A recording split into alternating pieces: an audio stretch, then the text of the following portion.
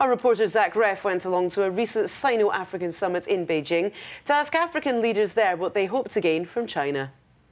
Earlier this month, Chinese Prime Minister Wen Jiabao pledged the equivalent of $10 billion in low interest development loans to Africa over the next three years.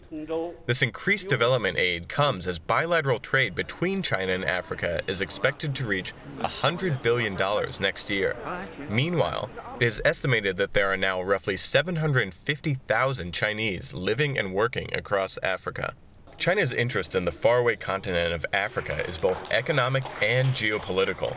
Thanks to years of rapid development and continuing growth, China has an immense need for natural resources, and the country is now looking increasingly toward Africa as a go to destination for such raw materials. Places such as Angola, a South Central African country that is now China's number one supplier of oil, have become instrumental in fueling the Asian nation's growth.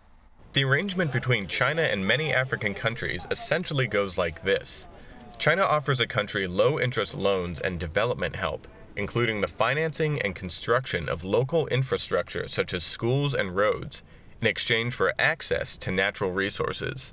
These investments have improved the quality of life in scores of countries, and for many, these arrangements are a win win situation. If a country gives you um, things um, like an infrastructure, uh, and you, you know you need that infrastructure, and your resources limits you from um, having such infrastructure.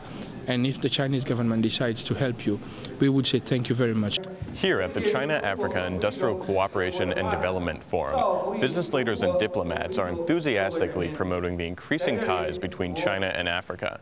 However, these connections are not without problems, and China's involvement in Africa often has a dark underside as well. China has drawn international criticism for supplying arms to both Sudan and Zimbabwe, countries which are both accused of numerous human rights abuses. Last year, in fact, China was widely condemned for sending a boatload of arms to Zimbabwe.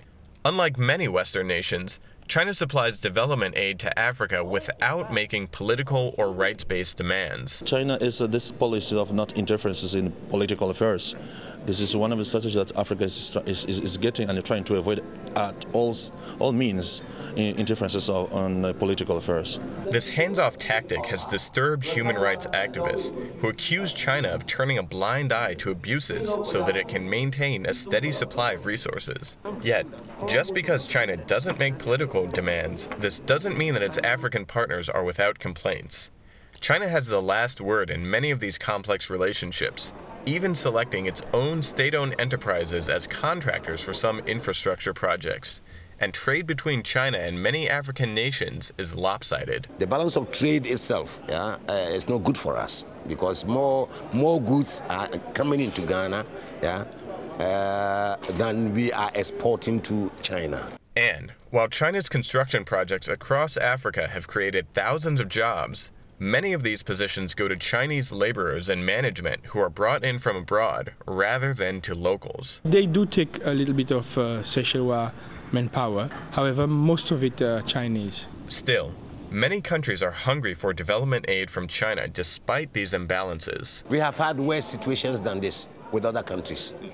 So why, why, why not? And while the relationships between China and its African partners aren't perfect, according to Mr. Amaral at least, they are mutually beneficial. Different countries, different behaviors, different interestings. And uh, I, I, can assure you that there is not uh, best friend, but there is best interests. Best interests make good friends. Zach Reff, BON.